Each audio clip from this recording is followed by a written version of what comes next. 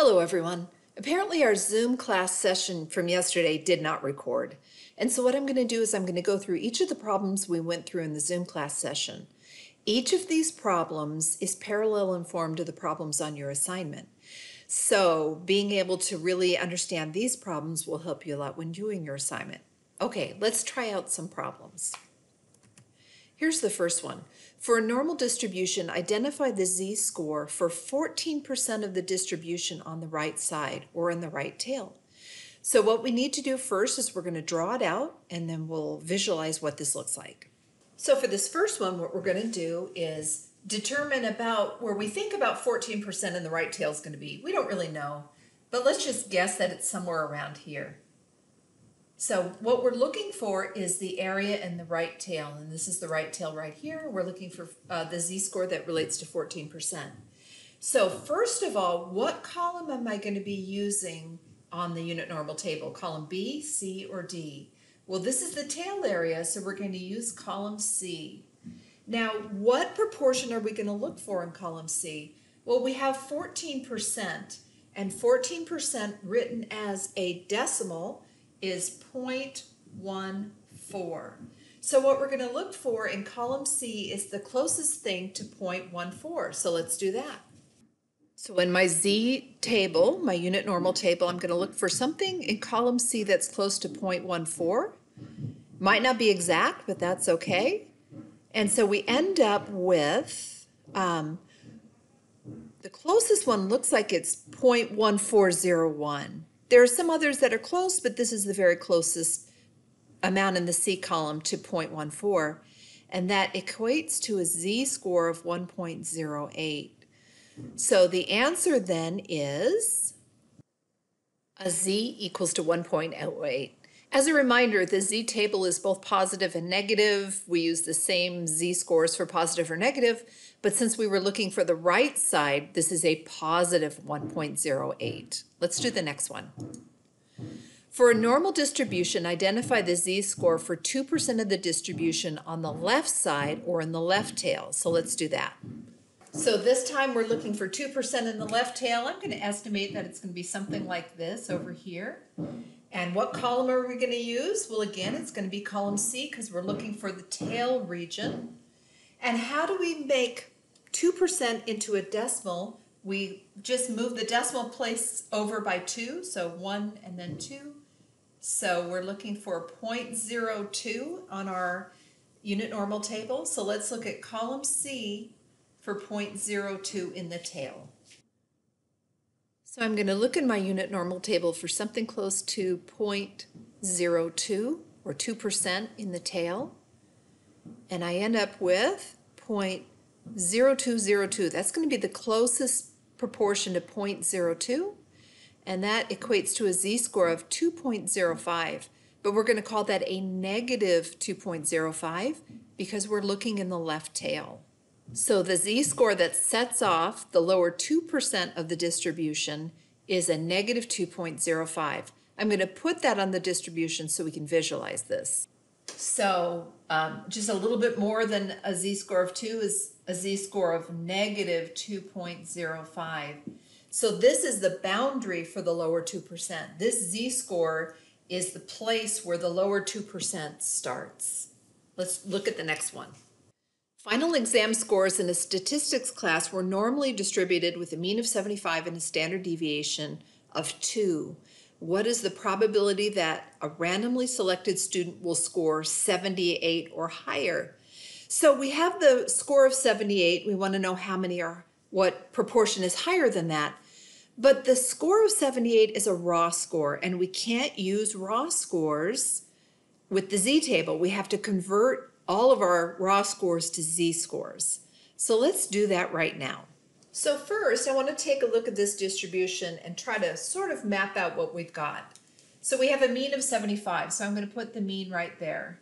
I know my standard deviation is 2, so I'm just going to kind of fill this in a little bit. So I know that a score at 1 standard deviation is going to be 77, a score at 2 standard deviations is going to be 79, etc.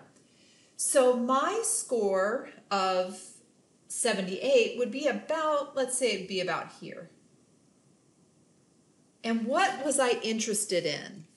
I was interested in the probability of scoring 78 or higher. So I'm going to fill in this area right here. Or probability of a uh, score of 78 or higher. So when I fill this in, this is the area that I'm interested. I want to know how much is here. So am I going to use column B, C, or D? Well, again, it's column C. Whenever we're looking at the tail area, we're looking at column C. And so what we need to do is we need to find the z-score that equals a score of 78, and then we can look up on the table and see how much is in the tail. So the z-score formula, as a reminder, is the score minus the mean divided by the standard deviation. Okay, we can do that.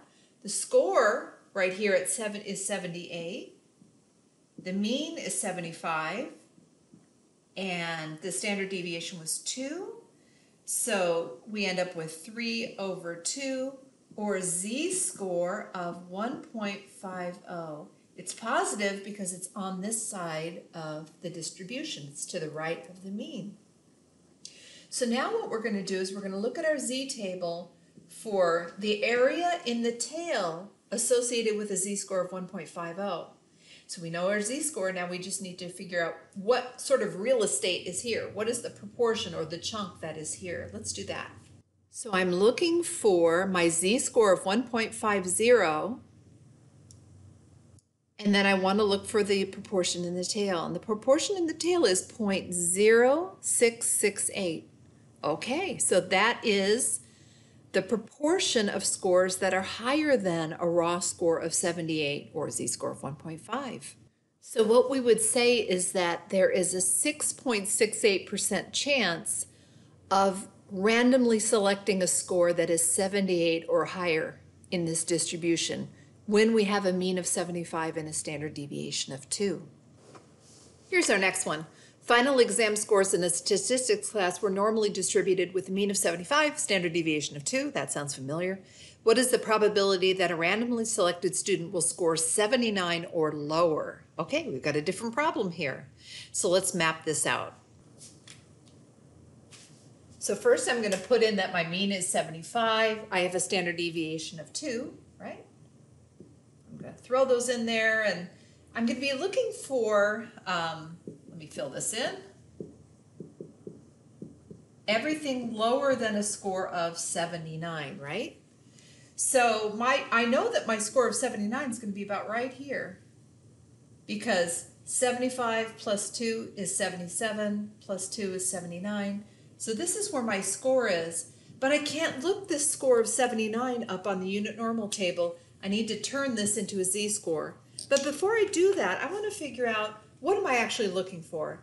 If I'm looking for scores of 79 or lower, I'm going to cross all the way over here. I'm going to fill in all this area. It's a big chunk, isn't it?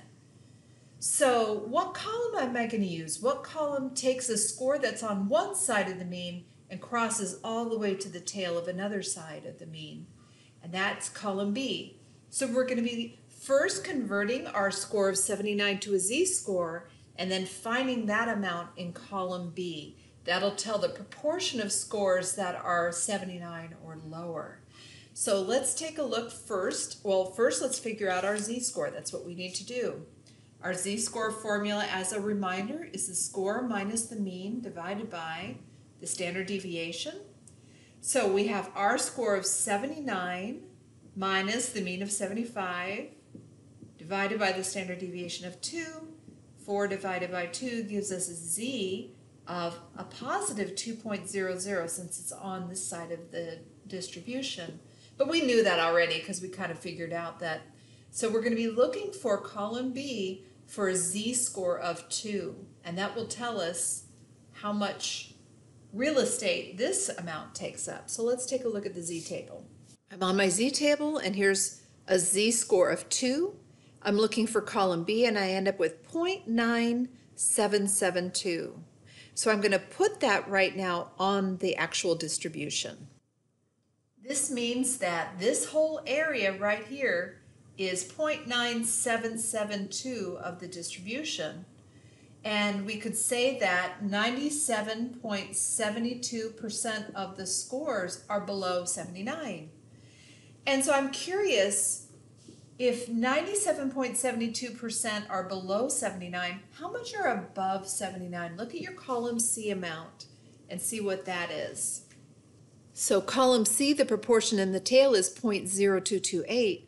If you add up these two numbers, oops, 0.9772 and 0.0228, it equals 100%. Think about that. Whatever's not in the body is in the tail and all of the scores together equal 100%, or if you're adding up the proportions, they add up to 1.00. So keep that in mind.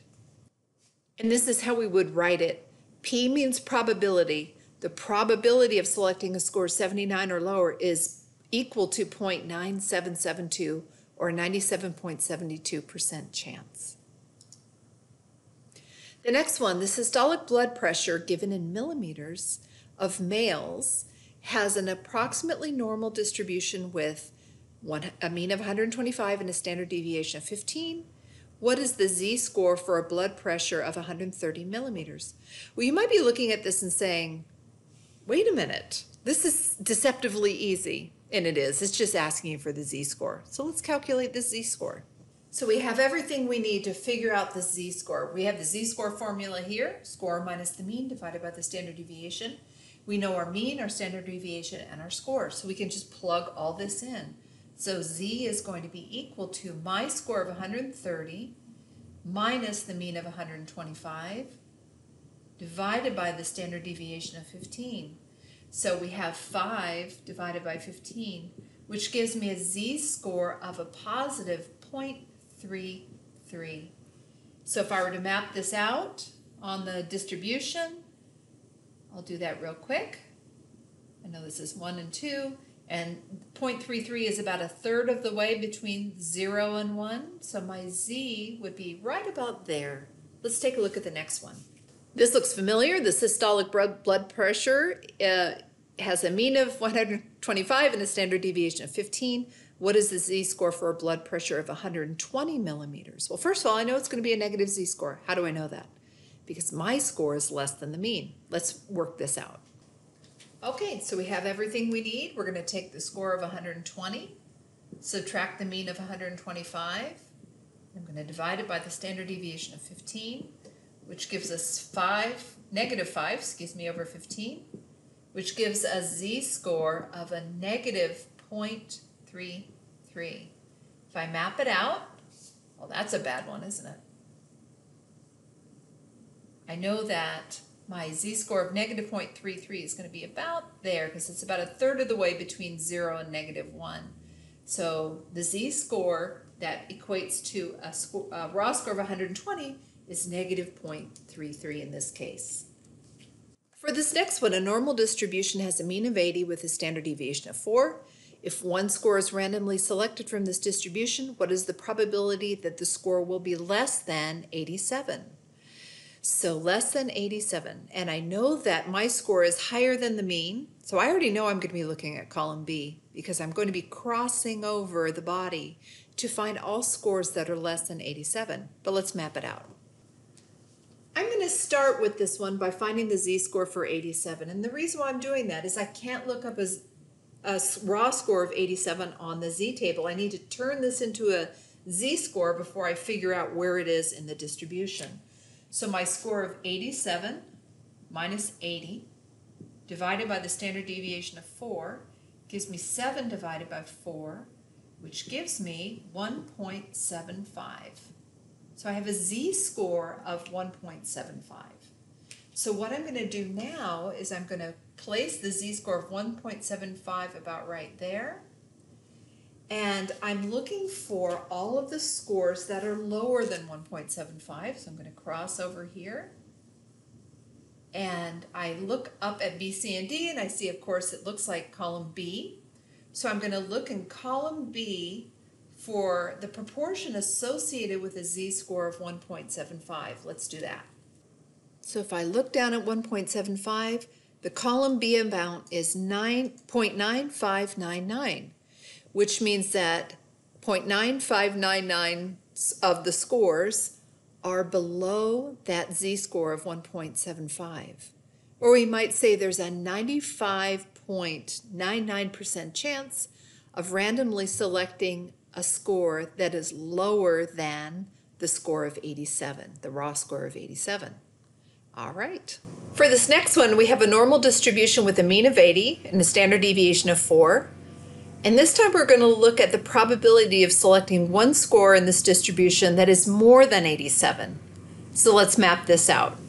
So for this one, you'll notice that we have the same mean, standard deviation, and score of interest. But what's different is instead of looking for the scores that are under 87, we're looking for the scores that are more than 87. So we're going to have the same z-score of positive 1.75, but this time I'm looking for all of the scores that are greater than that score of 87 or that z-score of a positive 1.75. So in order to do this, I'm going to um, look at column C for 1.75. You go ahead and do that too. Let's take a look. So I'm looking at 1.75 and we have a percent in the tail or proportion in the tail of 0.0401. 0.001. So, in other words, we have a 4.01% chance of choosing a score that's going to be greater than 87.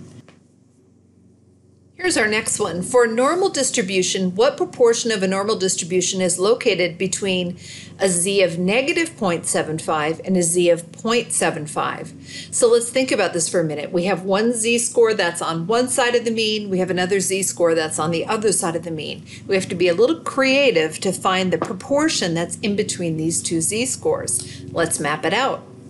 So I'm going to locate my first z-score of a negative 0.75 about three quarters of the way between zero and negative one. There it is. And then I'm going to locate my other z-score of a positive 0.75 about three quarters of the way there.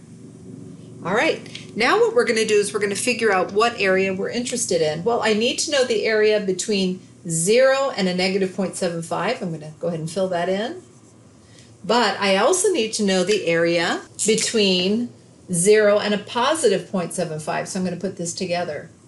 So can I use B, C, or D? Well, it looks like we can use this column D.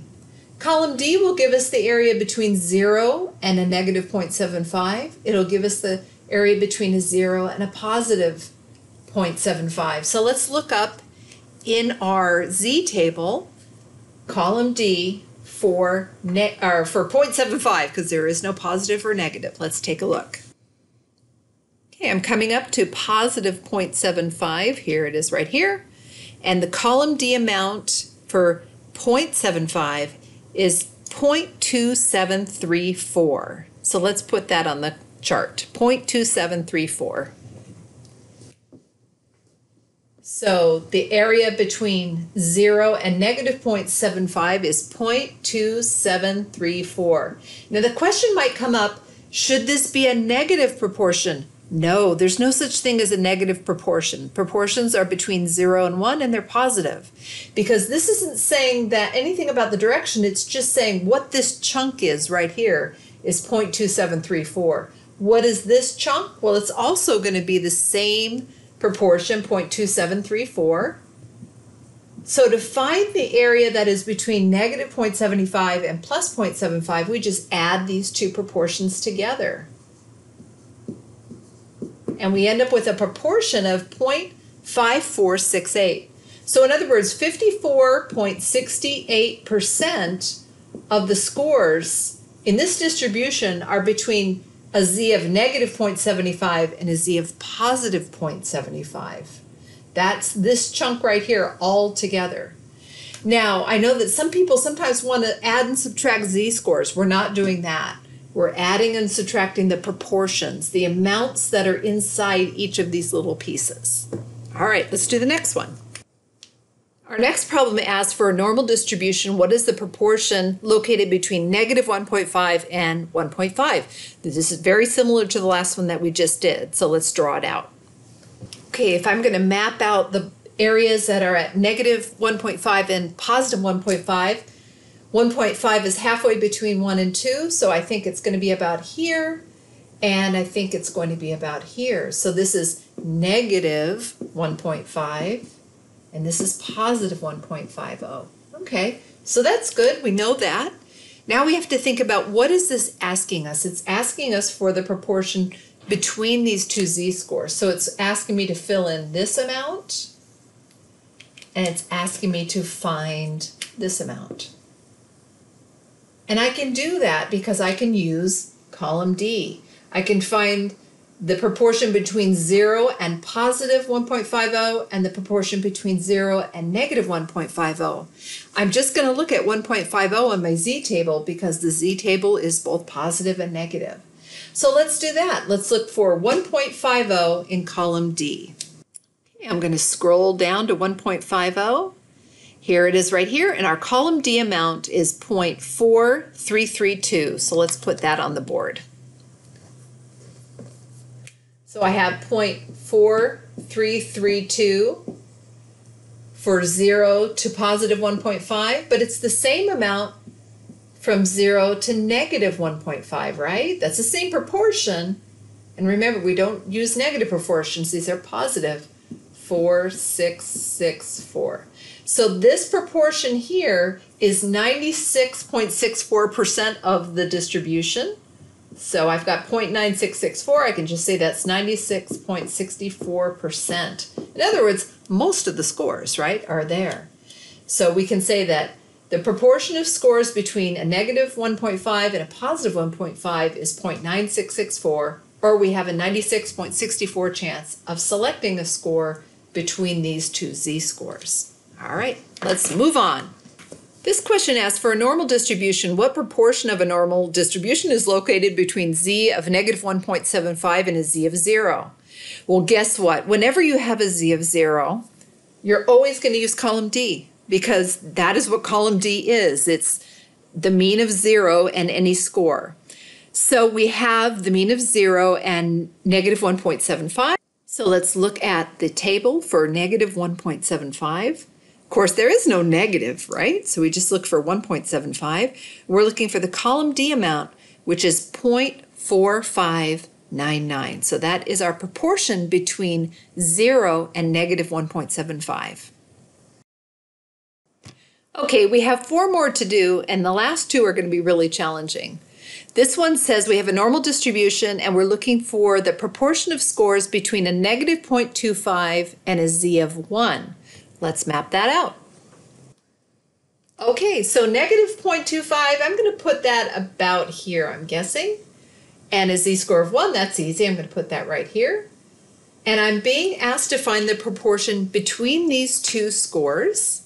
So I've got um, this proportion here between 0 and a negative 0.25. And then I have this portion here between 0 and 1 a positive 1.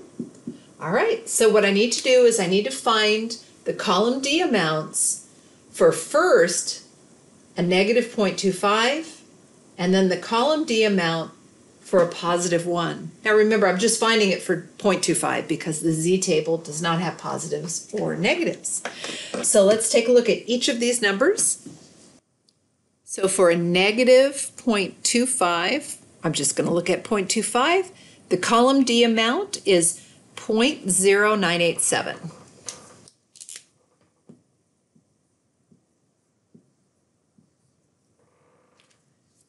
And the column D amount for a z-score of 1 is 0.3413. So just to reiterate, this little chunk here is 0.0987. This larger chunk is 0.3413. But I want to find out what these are together. We want to find the distance between these two z-scores. So I just add this up. And it looks like I have 0.4400. So 44% of the scores are between a z-score of negative 0.25 and a z-score of 1. Here's our next one. For a normal distribution, what is the proportion be located between a z of negative 1.25 and a z of 0? Okay, this one is just like the other one where we had a mean of 0 or a z of 0. That's the mean. So we're basically looking for a z-score of 1.25, so let's take a look at that. So if I scroll down, z-score of 1.25, I'm looking at the column D amount, and it is 0.3944. All right, this one is challenging. For a normal distribution, what proportion is located between the z of negative 0.5 and a z of negative 2? So this time we have both z's that are negative. This is going to require just a little bit of different math. So let's take a look.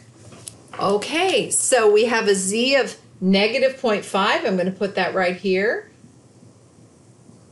And we have a z of negative 2. That's easy enough right there. So what I have to do is I have to find the proportion that is between these two z-scores. And so in order to do that, I'm going to first find the proportion between 0 and 2, or the mean and 2. two. So I'm going to use column D. So let's right now find the proportion between a mean of 0 and 2. The column D amount is 0.4772. I'm going to put that down, 0.4772. The next thing I'm going to do is I'm going to find the proportion between the mean and negative 0.50 because this is going to let us know what the difference is between these two scores. So the mean to negative 0.50, let's just look up the mean and 0.50. And that is 0.1915. So I know this amount here, and I know this amount here. What I want to do is I want to subtract out this amount from the total. So I just subtract. Easy enough. And we end up with the answer of 0.3857. So basically what I did is I took the larger of the two z proportions and I subtracted out this piece here and that leaves me with this piece that they have in common. So the answer is 0.3857 or 38.57% of the scores are between negative 0.5 and negative 2. All right, we've got one more. For this last question, we have a z of 0.5 and a z of 1.75. This is, we're going to again find the amount of real estate or the proportion between these two z-scores. Let's map it out. Okay, so my z-score of positive 0.50 is about here, and my z-score of positive 1.75 is about here. And I want to find all of the information between these two z-scores. So what I'm going to have to do first is I'm going to find the biggest z-score first. So I'm going to go from 0 to 1.75. So let's look at that. So my column D amount for a z-score of 1.75 is 0.4599.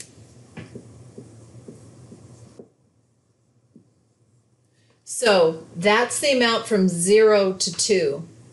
But I need to subtract out this amount that doesn't isn't in common between these two numbers. So I need to find the amount between 0 and negative, or 0.5, excuse me, 0 and 0.5. So I'll scroll back up, find the column D amount, which is 1.1915, 1915. So I take this total amount between 0 and 2, and I'm going to subtract out this amount here to find the proportion between these two z-scores. And I have 0.2684.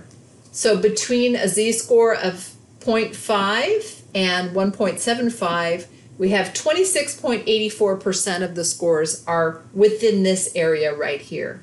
So our answer is 0.2684. Okay, I hope this helped you. Um, again, I'm sad that the Zoom class didn't record um, yesterday, but maybe it all works out for the best. Maybe this is more helpful even than the recorded class. But if you have questions, you know where to find me.